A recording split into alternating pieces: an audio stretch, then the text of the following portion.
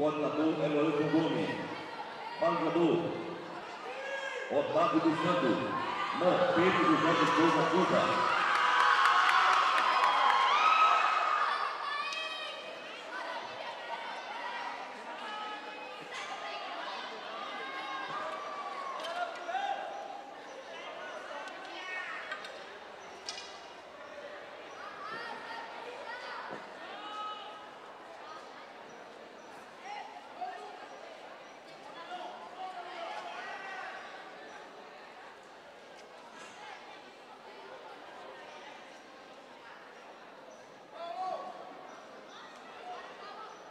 Banda de percussão da EREM, professor Henrique Matos.